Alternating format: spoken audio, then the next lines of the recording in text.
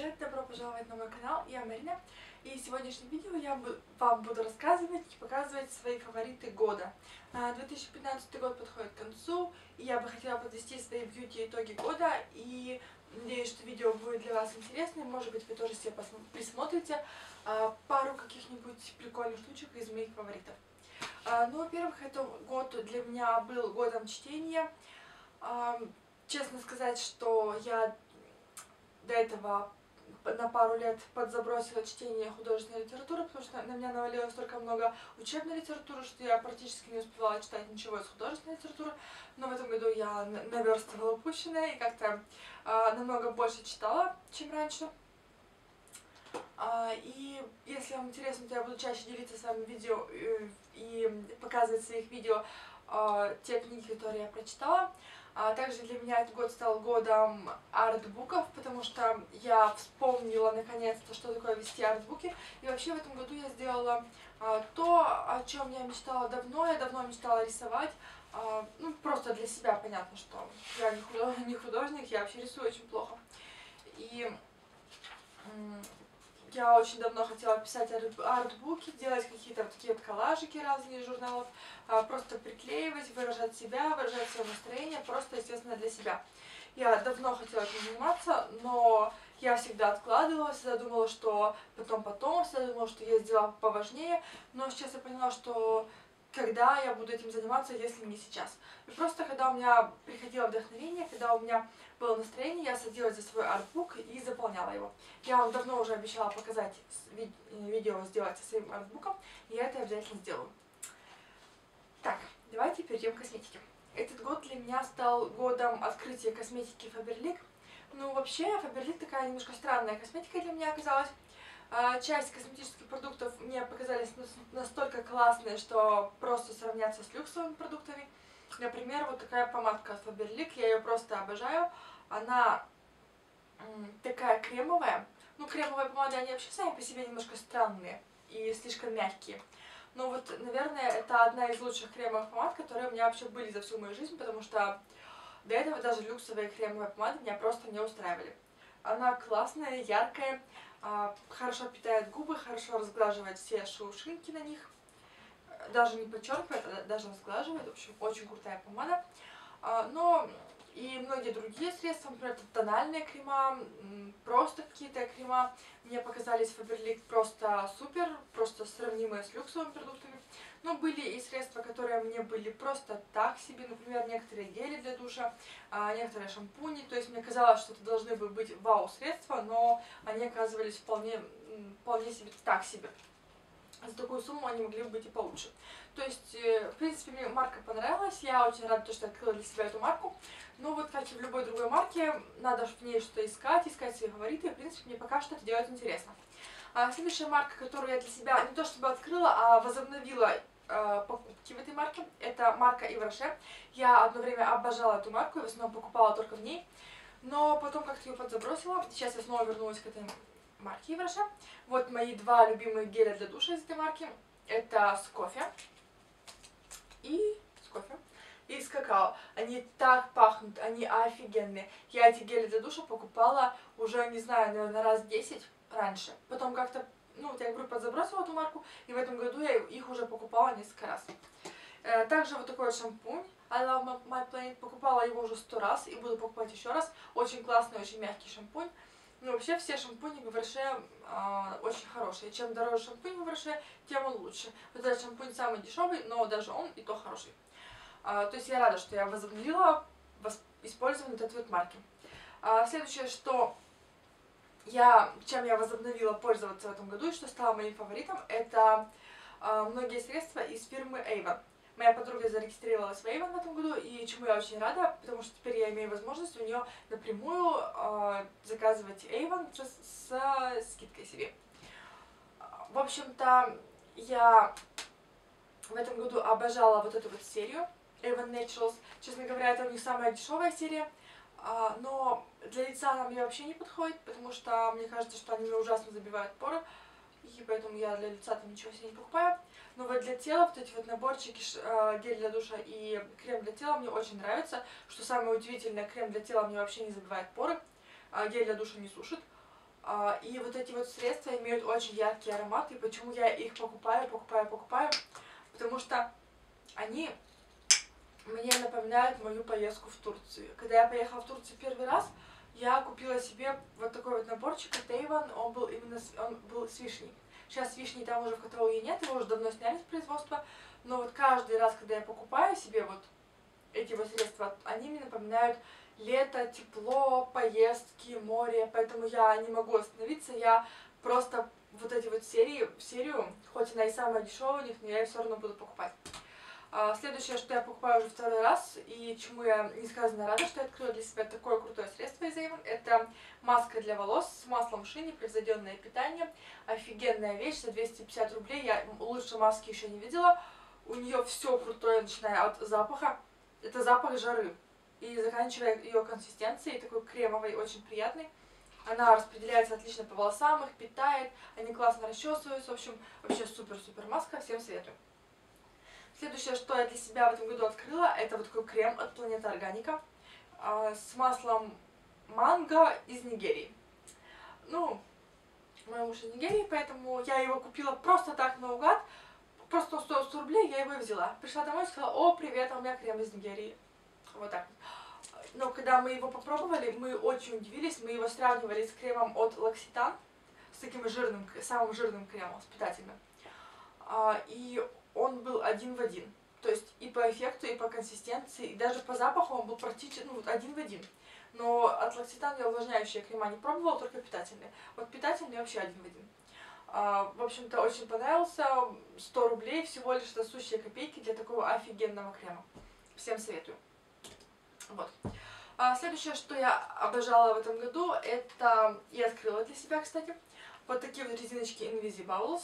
Я покупаю оригинальные, и они мне очень нравятся. От них действительно не болит голова, и действительно они снимаются одним движением, застревая у меня чуть-чуть только на самых кончиках, потому что мои кончики просто сломаны в хлам. У девочек, у которых волосы получше, чем у меня, они вообще просто разом стаскиваются с головы.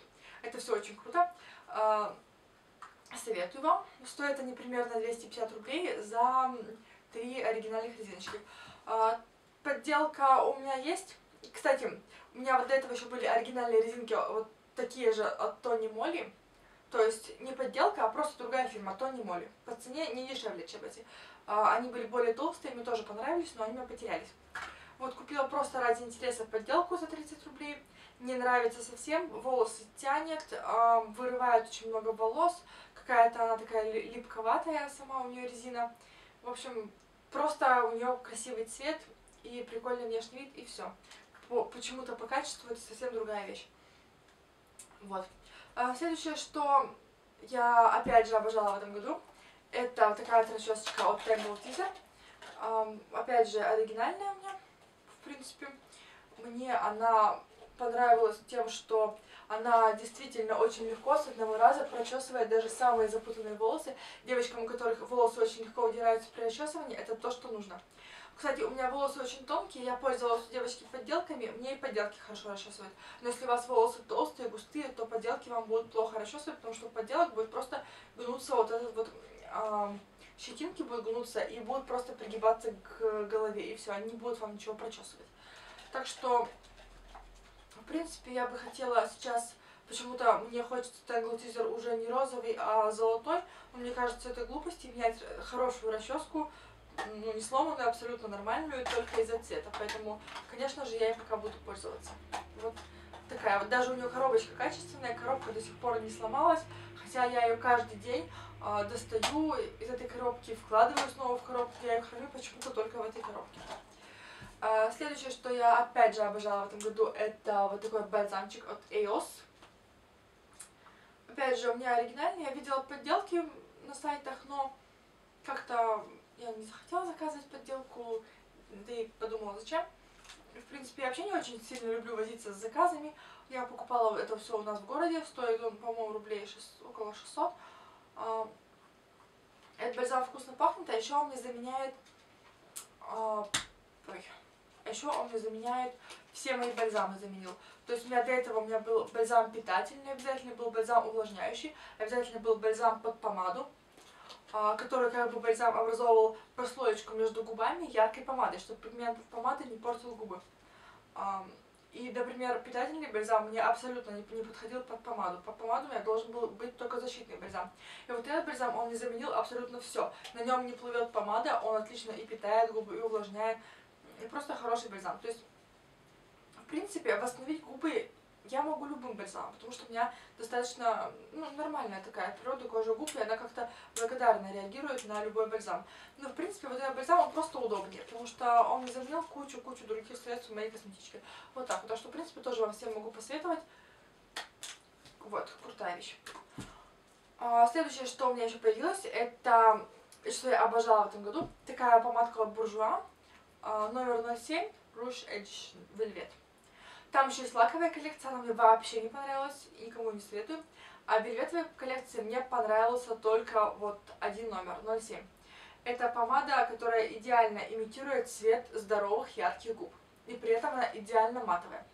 Я матовую помаду давно хотела, я обожала матовую помаду еще до тренда на эти матовые помады, но сколько бы я их не тестировала, мне они ни в одной марке не шли то они делают мои губы тонкими, то они делают мое лицо неживым, особенно если это сильно какие-то очень нюдовые помады, слишком бежевые. Но вот эта помада, она на мои губы легла просто идеально, она идеально подходит э, к моей коже, и в принципе она подходит к цветотипу большинства девушек в России. Э, эту помаду просто купила куча моих знакомых, как минимум уже человек у 10 она есть. Э, действительно очень удачный цвет мне понравилось, и я бы вам могла бы это тоже посоветовать. Отличная вещь. Также этот год стал для меня годом органик косметики. Всю органик косметику я, конечно же, вам показывать не буду, просто для примера покажу вам баночку с кремом вокруг глаз от Mixit. Крутой, крутой, кстати, крем вокруг глаз. А, в принципе, видео про органик косметику у меня очень много, все можете посмотреть их на моем канале. Э, я почему-то считаю, что натуральная косметика, она как-то более, в принципе, более полезна. То есть я продолжаю пользоваться и более химичной косметикой, но как бы предпочтение стараюсь отдавать натуральной косметике. А, в общем-то, я не могу вам сказать, что я все советую миксы, но вот крем для глаз мне очень понравился. А, в принципе, все, что я пробовала из натуральной косметики, большинство вам средств могла бы честно-честно посоветовать. А, также этот год стал для меня годом Литуаль косметики косметики фирмы Литуаль. Опять же, много показывать вам не буду. Ну, для примера покажу вам карандашик и блеск. То есть косметика хорошая, по качеству практически люксовая, но в то же время цена у нее не такая дорогущая, как у люкса. Ну и к тому же дизайн у нее очень приличный, э, стойкость у нее очень приличная. Постоянно обновляются коллекции, постоянно какие-то интересные вещички появляются. Меня это очень привлекает, мне нравится. А, также покажу вам еще один мой фаворит. Это такой блестящий, блестящий блеск, он называется Star Reflection Lip Gloss от какой-то неизвестной мне фирмы Изабель Дюпонт. Мне его привезла подруга из Украины. Этот блеск представляет из себя просто набор серебристых блесток. Я обожаю блестки, девочки. Просто вы не представляете, насколько я обожаю блестки. Я полюбила их еще в детстве. У меня были целые банки с блестками, таким геля, геля такими с блестками. И я им красила губы, глаза, мазала на волосы, на кожу. Ну, сейчас, конечно же, я не могу себе позволить мазать на себя столько блесток. Но я всегда в макияже, либо в маникюре регулярно использую блестки. У меня либо на ногтях блестки, либо на губах блестки. Все равно где-то небольшое количество блесток у меня есть. Я их просто обожаю. И а, мне кажется, что они мне идут. Мне кажется, что они делают мои губы более объемными. Вот этот самый блестящий блеск, который у меня вообще когда-либо был, он просто из чистых блесток. И я долгое время не знала, как им пользоваться, потому что когда я наношу просто на губы, мне кажется, что губы аж серые от блесток. И это не совсем красиво и, естественно, смотрится. И тогда я придумала наносить его на бальзам и сверху разбавлять каким-то блеском. И смотрится отлично. В общем, вообще я просто могу сказать, просто как для примера привожу этот блеск, просто могу вам сказать, что блестки это просто, а, просто мой фаворит, не знаю. И как-то я их любила всегда, вне трендов от них. Насколько я знаю, что блестки сейчас не очень в тренде. Ну, лет года четыре назад они были не в тренде вообще. Почти, это считалось как-то вообще странно красить, краситься блестками. Ну, если тебе, конечно, не 10 лет. Но я красилась всегда. В общем, ну, я считаю, что макияж это все-таки наше настроение, то есть ну, не надо себе в чем-то отказывать. Ну и последнее, этот год для меня стал годом открытия косметики Сефара. То есть я ей пользовалась и раньше, но потом она как-то исчезла из наших магазинов. Я не успела ее как следует попробовать. Косметика Сефара мне очень понравилась. Ну вот для примера приведу такой наборчик, мне его подарил мой муж. Отличные тени с отличной пигментацией, отличные блески, отличные румяна, все ультрастойкое, вообще отличное, хорошо пигментированное.